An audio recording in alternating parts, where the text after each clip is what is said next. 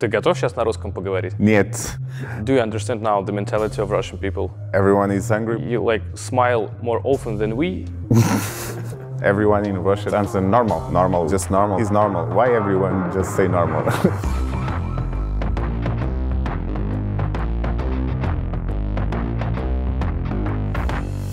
Dear Loko fans, today we have an interview with uh, João Mario. Wow, every time when I say João Mario, I just get shocked do you feel like the same emotion? of course, for me it's a big honor being here. Uh, I'm enjoying a lot, you know, this this new experience for me. Every time that I that I came to the pitch, I, I'm just trying to, to give my best, and I'm happy everyone's at Loko likes me. So it's a it's an honor for me. I liked your words, but I meant to say that João Mario is maybe kind of too big player for our club because you know, you're playing for Portugal national team, you're playing in English Premier League in Serie A, uh, a lot of money were paid for you, and now you're playing in Russia, so maybe you're could be not so motivated or something like that, no? No, I don't think in that way. Uh, I'm always motivated. Uh, uh, doesn't matter where I am. Uh, I also start being like this since I I was in Sporting and, and I go on loan to uh, a small club than than Sporting. Uh, but if you if you are happy with your choices, you just give your best. And of course, I have uh, big motivation because I, I also want to be in Champions League next year uh, with Loko. I, I think we can we can achieve that uh, that uh, object. I want to be also at the European with my national team, so I have a lot of big motivations to, to do well here. You're always smiling, always hardworking. How did you find uh, this mood, to be in this mood like every day? Or you also face some mental difficulties, but we just don't see them? I love being here. I love the team. Um, so I enjoyed the the month, the, the last months that I played. I missed to play, so uh, I'm just always happy because I do what I love. I'm a blessed, so I, I think I, I just need to enjoy. Did you really like the first part of the season? Yeah, of course. We we start really well. Um, we did a lot of good things. Of course, we now we we know that we need to improve, but we we did a lot of good things even in Champions League uh, against a tough opponent. So uh, what I expect for the second part is the team uh, gets on his best way. We can be uh, and qualify for Champions League for sure. What are the main factors uh, using them we can really improve? So, what are the key to success? I remember our best games. We are so compact, you know. Uh, we understand each other on the pitch. I think we, we need to get back on that, you know. Uh, respect a lot of teamwork, you know. Um no one alone wins nothing. Uh, that's the main thing. Uh, I think we just need to play as a team. Everyone needs to be focused and everyone needs to be uh, on the same way and everyone needs to understand his role on the team. What about your conditions? Are you on fire right now, or you still need some time? No, I think I'm getting uh, close to my best performance. So, uh, of course, I stopped a little while because my injury, but now I'm feeling uh, confident again. I'm feeling well. So, the return of the league, I will be on my best shape. When I've been watching the match uh, against uh, the final match of Qatar tournament, I thought that you're not so comfortable on the pitch because maybe the, because of the position of center forward, or maybe because we had to defend a lot uh, playing with Rostov, especially during first half. Th- that's how I saw it. No, for sure, I'm not a striker, a forward, of course. Uh, but sometimes uh, this particular game, so many injured players from from the first eleven. Uh, so sometimes you just need to to do the best for the team, of course. Uh, also, we, we spoke on the half time. We, we tried to fix some positions, and I think we did a, a really good answer on the second half uh, against a tough team, physical team too. Of course, I'm feeling more comfortable uh, when uh, we attack more. Is where I feel on my on my beach. So of course, uh, I prefer always when we we have this superiority when we have the ball. I expect that we'll return on this on this kind of play because it's where I feel more comfortable. Have you already understood the way of football we, we're gonna play the second part of the season? I think we have a, a, a particular way to play, so I think everyone now on the team understands that. We, we know that we have a, a great team, a great players, So I'm not gonna say that we have the obligation to qualify for Champions League, but if you look at our squad, uh, I think it's really possible, and um, I think everyone should focus on that and understand that we have an important role, we have an important player, so we need to focus and uh, and try our best to qualify for Champions League. In terms of the squad, are we the best in Russia right now? I think uh, us and Zenit could say that we have the best squad. Uh, of course, when they have 11 points ahead, it's, it's difficult to to say that there is better team than them. But we already beat them twice this year.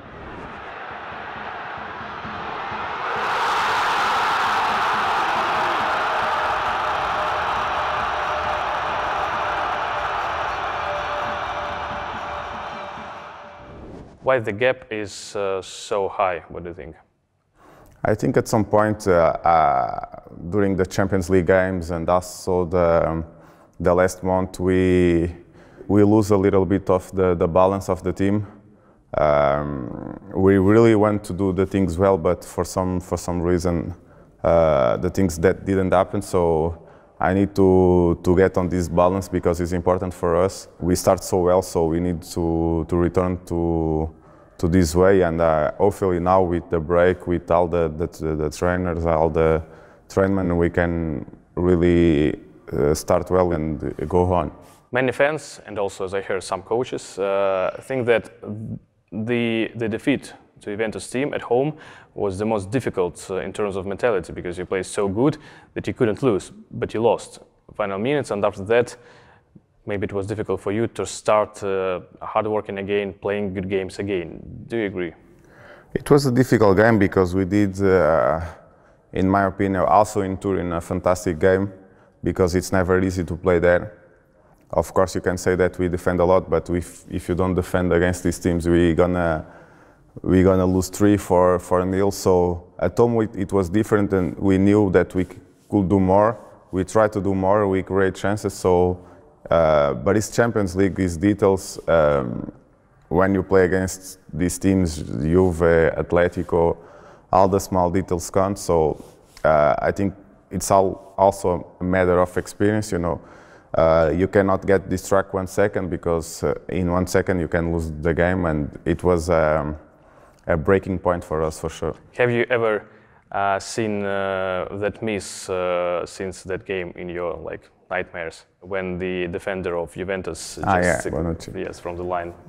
I think I couldn't do better. You know, I should. Uh, it was difficult because it was so fast the move. When I analyze my actions, I try to, to, to think what I can do better or uh, what I can improve. So, but in particular, this action, I think I, I do everything possible. I also try to high up a little bit the ball, but he, he was just at the right position. Do you often analyze uh, how you play the game, or is it just the, the, the, page that you turn down and go next? No, no. Every game I, an I analyze. I have some some apps that I could see my uh, individual actions. Of course, I know where I can improve, um, where I can do better. If you don't see where you can can improve, you will not know it. So there is no better way to, than to see an Im image because they don't lie. You know, you are seeing you what you did. So I think it's the best way for improve. And of course, uh, I like to improve always. You'd like to, to, to show the fans the new version of João Mario, the second part of the season? I'm always trying to do better. Uh, uh, I know that I will do better because I'm in better conditions. It was a pity that I get injured because I, I was feeling really comfortable. I was uh, feeling really confident too. So, uh, but now it's past. Now I'm getting to my best, uh, my best shape, and for sure they will see a, a, a good João Mario for sure. Name please the best partner of our club. The best partner for you, maybe in midfield, maybe a partner as a striker. I don't know. It's up to you. I would say Eder because uh, we understand each other. He's really intelligent too, you know, he knows my way to play. I already know his way to play. He always tries to help me. He always tries to, to tell me where he wants the ball, whether uh, I can get him the ball. So I would say Eder because we have a really special connection also outside the pitch. So I would say him. As I know, Eder is also a very intelligent person out of the field. Did he help you really a lot to adopt here in the team in Moscow in Russia? Of course, it was really important for me having him because uh, he's an amazing person, amazing friend, um, and I know that I can really listen him because I really, I really trust him. As cavalitas? Cavalitas do papá? As cavalitas. Não quer dizer as cavalitas? So it was really important for me because um, when you come from other reality, when you arrive a new country, a new culture, it's important to have someone that speaks your language, that understands where you feel, where you think before, uh, what you need to change. So it was really important for me having him. Did you really need uh, his experience sometime when you really faced maybe some strange things? Can you name maybe some examples? Strange things uh, were uh, in Maybe in life, maybe in the team, I don't know. Maybe in terms of uh, local dishes, I, I don't know. I'm already living in Italy, I already live in England, so I'm used to a different mentalities as well. So when you arrive to a new country, uh, you need to respect them, them, them mentality and them culture. So when I arrive here, of course, there is things that are new for me and for him not. So I was also asking him why people do that, why people think that. But I think it's normal when you arrive a new country. For example, here in Moscow, uh, I remember the first days. If I ask to anyone, "How are you?" you know, and in my country, even in Italy or England, when you ask someone to say, uh, "How are you?" people say, "I'm okay," "I'm not okay," you know, and everyone in Russia just respond, just answer normal. And I was like, why normal? Had something happened to you? Because when you ask normal, uh, when you ask the normal, in my country, it's like something happened, you know? So I just asked her, but why everyone just say normal? because if you are okay and if you are not okay, you say bad or right. So it was, it was a funny thing that I, that I learned from him that it's just culture, culture, you know? So, but it was funny at the beginning because everyone asked them the same way, you know, so I didn't knew it. Do you understand now the mentality of Russian people? A little bit more for sure because uh, I've already spent some so so many time with uh, Russian people. I already know the coach, the the staff, the the medicals, the players. So uh, for me, it's not a, a new thing now. Can you compare the mentality of Russian people with maybe Portuguese or Italian? I mean, are we similar to, to each other? Uh, there is a lot of big difference, of course, because uh, Portugal and Italy they are uh, similar. We are Latinos, you know. We have the same habits, you know, the same expressions. Uh, not exactly the same, but closer, you know. You like smile more often than we. Ye- Yeah, for sure, for sure. I think uh, I would compare more uh, Russian people to England, for example, uh, more serious, more um, more respectful. It looks like that uh, everyone is hungry, but it's not that. You know, uh, I just now I'm getting better to know the people, and I'm just I'm just surprised with the kindness that you you have in in Russian people too. Okay, and what about cities? You, because you've lived in Porto, in fantastic Lisbon, in Milan, and now Moscow, and also London. Yes. Can you compare? What is the best city? What is the place uh, of Moscow in your in your list? Uh, my favorite city is London uh, because even when I was not living there, I really knew the city and I love the city. For me, is is the is my number one city. Uh, so after London, I would say Moscow because they are similar. You know, big cities. You have big shoppings. You have big restaurants. You have a lot of options. So for my lifestyle, um, I enjoyed more here in Moscow, for example, than in Milano because it's different. Um, also, the people, you know, the interaction with the people. Uh, here you have more privacy. It's more respectful. Uh, so after London, I would say Moscow because uh, I'm really enjoying living in a big city like Moscow. You've told that Moscow suits to your lifestyle. Yeah. And what is your lifestyle? Because you're not so open-minded person in terms of media, Instagram, and so on. So really rare moments when we, we see some photos, maybe of you with your girlfriend or wife. We even don't know. Fiance, yeah, my fiance. So why don't you want uh, to, to, to show your happiness? No, I think uh, social media is good, of course, but I would say that I use for promotion my work more than my pri- private life. Of course, I have a private life uh, with my fiance, with my friends, with my family, but I think this is just for me. I don't need to share, or I just share what I want, you know. I, I don't see the obligation to share uh, what I do, uh, where I go, where I go to eat, what I buy. So I'm really happy with my life. I enjoyed a lot, even in Moscow, especially in Moscow. That's where I live, but I don't see the necessity to show to the people Yeah. what I'm doing in my private life. Of course, sometimes I share with my fiance some places where we go, but I don't see exactly what I need to show every single detail of my private life in Instagram or in other social media. Does she like Moscow? What place uh, does Moscow take in her list? She's living with me. She loves. Um, we always trying to to know uh, new places. She's more like me. She's calm too. She likes to spend some time at home. Uh, she likes to do some shopping, uh, normal shopping for for the days. We normal we just walk around to Red Square and that place. So we have the same kind of habits. Uh, so it's good when you have someone that has the same wishes than you, and for sure he's enjoying because it's a beautiful city. We didn't spend so much time there because after I get injury, I need to go to go back to Portugal. But I'm I'm really um, uh, even anxious to go back to Moscow to to to know how is the city during the winter and to to see how cold it is again. This year, is, the, the winter is so European that you couldn't see the difference Yeah? in terms of climate. Yeah, we even didn't have snow between the New Year holiday. That's for the first time in years. Yeah, fantastic. So I should be there. I was not there. Do you live somewhere near the center or near the base? Near the center, yeah. Near the center. Yeah. Uh, what do you think about traffic jams? What do you think about, I don't know, what other difficulties do you face uh, in your life? Maybe um, because of language or I don't know. No, the traffic is okay. I don't know. Sometimes it's. Uh, I just took more traffic when I come back to the base, to to home, um, but never more than an, an hour.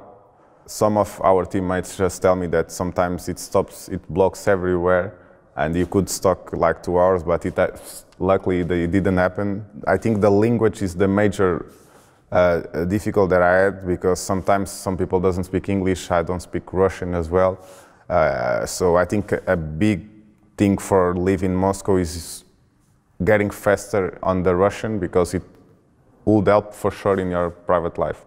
Did you start learning Russian? Some words, yes, some things, some lessons. Now I'm trying to uh, learn first the alphabet, you know, to at least could read, you know. So it takes time because it's not an easy language for us to learn, but um, I think I can make it, yeah. Ты готов сейчас на русском поговорить? Нет.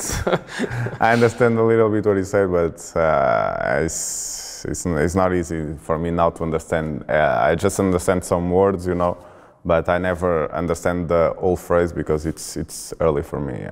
Does uh, the fact that you've started learning Russian means that you are ready or you plan or you want, I don't know, choose uh, the, the, the correct one, stay in Moscow for years in the future? I never plan a lot, you know. I used to plan a lot when I was uh, a little bit younger, you know. Now I think more important for me, for my my life is for my career is to to think in the moment. You know, I, I really enjoyed the first part of the season.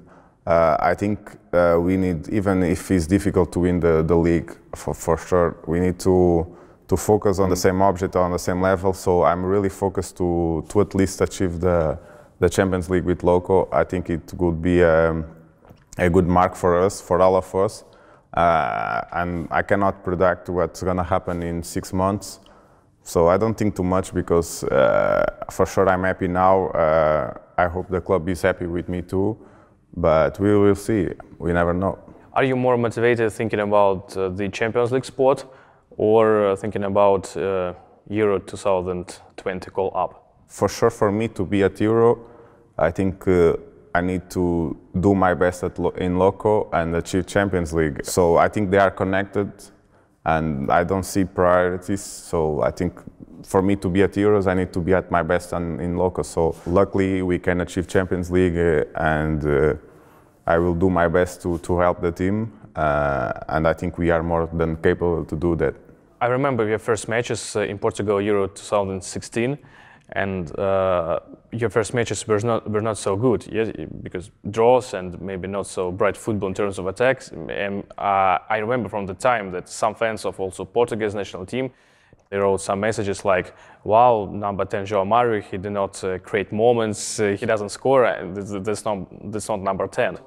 And also there were a lot of critics uh, to Eder. But after that, you won the Euro, you were so good, the whole tournament. After that, you go to Inter. So, is that uh, the reaction you always uh, can show to, to, to, the critics? Yeah, there is always someone to uh, criticize, you know. It's easy to say he doesn't do that, he doesn't do that. But with with experience, with uh, I think at the beginning it can affect you. You know, I was 22, 23 at that time. Uh, of course, it can affect you because you are so young. But now, um, even here or in, in, Portugal national team, I just don't listen. You know, uh, because everyone is always ready to criticize, but um, no one even think where you can be better, where you, you can improve. So I, I, just focus my on me, you know, where I can do better, where I, I, I think I, it can help him with the age, you know, with the years passing by. I just don't care about critics. Did you miss a sporting team? I can explain my question because as I see that since the time, since the transfer to Inter Milano, you like didn't find your home team again. Did it affect you? No, of course. Uh, it was. I spent there 15 years, you know. So, of course, at some point you you feel like uh, you are in home, and Sporting in particular feels like I'm home because I spend there so many time. Now in football, it's so competitive, you know. So you just need to to get ready for any challenge. Uh, you just not you you don't have time to to stop and think why this didn't happen. So I never I never think on the past. Um, I know the feeling to feel at home because I spent there 15 years, but it's gonna be difficult now to feel uh, in other place because I grow up there, you know. So now it's more professional things, you know, professional work. Uh, so where I step by, I just think to give my best to be professional. Everyone can say whatever you want, but they can never accuse you to not be professional. Uh, and to feel to feel like I'm in home is difficult to feel the same uh, sensation that I had there because I spent there 15 years. Is Serie A maybe just not your championship? Because uh, when I remember you playing for West Ham, even the team was not organized so good that time, but still you played really good and really important role. So maybe just Italian championship is not yours. I think I had my experience there, of course. Uh, I think it's more about my mentality uh, for what kind of football they have there, what kind of training they have there. Um, I think if you don't feel motivated to be somewhere, you need to change. I think it happens to me. Um, I was not really identified with the process, with the trainings, uh, with all the tactical stuff. Um, but I tried, you know, it, uh, it was a good experience for me to grow up, you know, as a footballer, but also as a man because it's really tough there with all the media, with all the, the supporters. Uh, so uh, one the step that I did is about critics. It was because I stepped by there, and it was so critical country, you know. So people really love football that they just say whatever they want. And it makes me grow up. So now I think I'm really more ready to other kind of stuff. That uh, when I arrived there, because I was so young, it was my first experience. Uh, uh, outside of my country. So um, I think uh, I really grow up there more than a man than a footballer. Of course, maybe they, they've criticized you a lot, some, some fans, yes, but I think it's also kind of positive side of reaction uh, because you could feel you yourself like a football star because I think that here in Moscow, not so many local fa fans just uh, recognize you somewhere in the street? It depends where you like. As I told you before, uh, some part where I didn't identify so much is because for me it's not important to be on the street and everyone recognize you, you know. Uh, maybe for some football players, yeah, but um, I think I have more an English mentality, you know. I just want to be professional, go to my work, uh, be respect, and this happens in Moscow. You know, that's why I, I, was saying before that I prefer to live in Moscow and in London than in Italy. Uh, but it's just my opinion. It's just my way to be. Uh, that's why maybe I didn't identify so much also uh, with the club, but I think it was an experience. You know, uh, I experienced there, I experienced here, I experienced in London, and now I know uh, where I can choose. You know, uh, but I know because I experienced there before I didn't experience, uh, in, you can never know. Okay, let's talk about the experience uh, you face in Lokomotiv.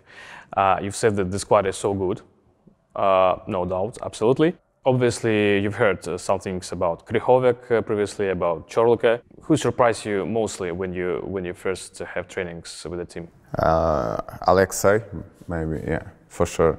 I didn't know him at all because uh, I had watching some games before I came, but it's different when you're training with the players. Um, uh, when you're training, uh, you can see what how strong they really are, uh, and I think it was the the one that surprised me more. Okay, uh, we always uh, talk about some rumors of Alexei maybe leaving the team to a bigger club. Yeah. What does that mean, bigger club? What uh, should Lokomotiv improve to become bigger club? It's also when you talk a bit uh, about bigger bigger clubs, you are talking also about uh, uh, leagues more competitive. You know, when you talk the clubs with Premier League, they are not just good because it's Tottenham, it's Man United, it's Man City. It's also because the league is so powerful, so so attractive. People likes to watch. You know, of course, he's playing for a big club in Russia but uh, he can have also the ambition to play in big club in England or big club in Italy or big club in Spain. Uh, I think it's just normal because uh, football is where it is, and where, in my perspective, what does to be a big club or, or not a big club is what people likes. So I think Loko could, of course, uh, maybe always think bigger, you know.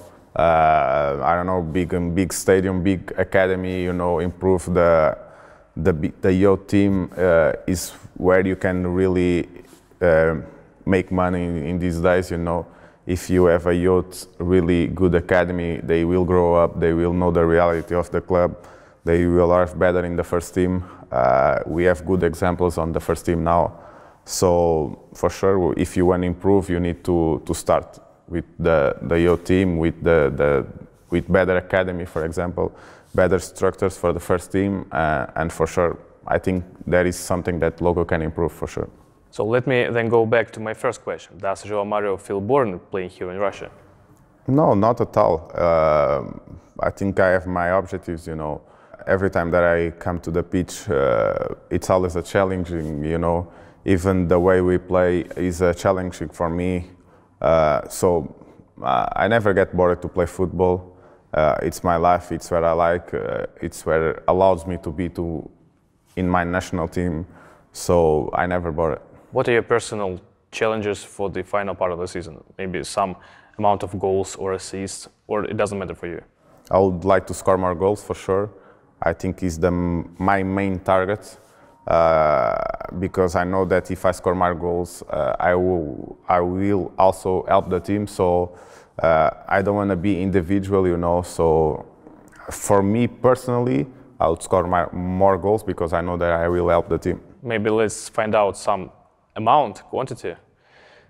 I don't know. I don't, uh, I, I, we're gonna play 11 games, so if I would say five, six games uh, goals, it will be amazing.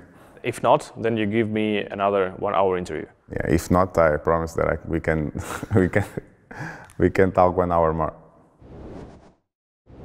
Eder is your best friend in the team, but do you, do you connect uh, a lot with other guys? Of course, uh, especially with Brazilians, of course, same language. Uh, Murilo is a fantastic guy too. Um, also, I have a good relationship with the Russian players too, the, the twins, Barinov to Ćorluka. I try to speak with everyone, you know, uh, Kula as well. So I really I really try to speak to everyone to, to understand them as well, you know, as a person, as a player. Vlad, also amazing guy. So luckily we have an amazing team, and uh, you can speak to everyone, and they are so so cool. So it's fine. Do you feel that you've already started to, to, to influence your team in terms of the mood, uh, in terms of strong mentality? Because you, you look like a person with really strong mentality, the mentality of a champion. So, do you see the potential to, to study Makeyev, Kulikov, and other young guys? I like to be an example, you know. So I always try to speak with them, with Maga, with Kulikov, because you can see they have a lot of potential. Uh, they are start playing more with us now. Uh, I also like to speak with young players because they can listen you more. For my point of uh, what I like in football, I think there is the two most potential guys that we have on the team. So hopefully they will play, play more uh, with us and um, they will improve and they, they have everything to improve. So hope to see you them playing more. You're telling about Makeyev and Kulikov. Yes. And uh, can you name other guys? Of course, Roma as well is. Uh, uh, you can see that he has a lot of potential. He has everything. Uh, I think he just needs to play more. Not always it's important to play in a big team. You know, when you are so young, what really matters is you playing constantly. So they need to to get here in Loko or everywhere the, the chance to play more. Uh, is the only way that he will improve because they really training well. But if you don't play, it's always different. What was the, the worst, the most difficult moment in your football career? The most difficult moment.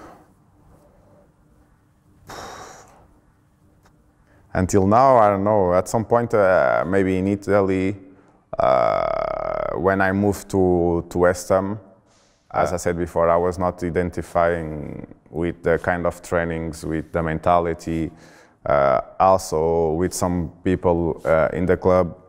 Um, so I think when you wake up and you are not happy to go training and to training, uh, you need to change for sure. You're always smiling, you're always hardworking, I like to repeat it. Can you give some advice? Uh, yeah, I'm not a football player, but still, for me, for, for guys from our media team, for our fans, how to, to, to be so confident, how to, to have a so highly motivation to, to go forward day per day? No, I just grow up. Uh, I always believe in myself. You know, I think uh, it's the first rule. You know, for for achieve your dreams when you are a kid. Um, you cannot expect that uh, someone will dream for you. You know, someone will believe in you. Of course, I have people that believe in me around me, but I need to be the first to believe. You know, if I don't believe in myself, I, I cannot expect that you believe, my fiance believe, my best friend, my mother, my brothers. So uh, I, I don't know. I'm happy because uh, I like my life. Uh, I like play football. I love play football. Um, I really think that uh, we football players are lucky, lucky guys. You know, we have, we do uh, what we love to do. So we just need to enjoy. It's so short our career, so there is no time to um, to be depressed or to be sad. And it happens. When it happens, you need to move. You need to change. Belief is always a dream, yes? So now you're turned uh, 27. Can you name us, please, your dreams in football and in your life out of football pitch? Our main motivation as a football players uh, is always um, find a place where you feel at home and also uh, find a club where you can play your best in your best level in your best role projecting the future is the kind of project that i that i want you know uh, playing a team that i identify 100% where i feel comfortable um, and um, where i can achieve my goals uh, and also in my private life you know uh, be with my my fiance getting married having kids uh, it's my next step. So uh, I just wish my family always uh, health and my friends, people around me, and for me it's the most important because if they are okay, I'm okay too. So it's what I wish in my private life. Joe, you're so positive. You're so positive. We, we've discussed it with the guys from media team before the start of the interview. So, what is the most interesting, Joao? So, the, mo- the most interesting question for us was like how you you look like so positive every time, and we like to to uh, say that you make positive all of us, all people around you, with your mood. So we'd like just to say good luck everywhere, especially here. Thanks for the interview, mate. Thank you. All Thank the you. best.